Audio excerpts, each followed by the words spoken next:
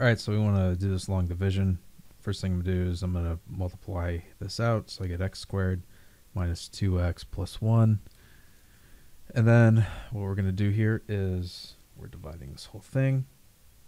So 2x cubed minus 4x squared minus 15x plus 5. Okay, so starting out, how many times does x squared go into 2x cubed? It goes into it 2x times.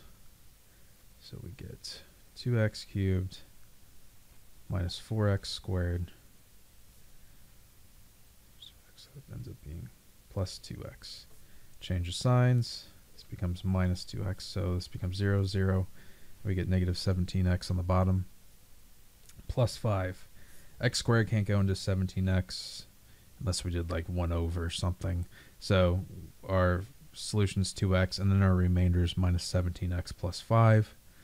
So we end up with just 2x plus negative 17x plus 5 all over our x minus 1 squared uh, divisor. And this is it. All right. I hope that helped you out. Thanks for watching. Have a great day.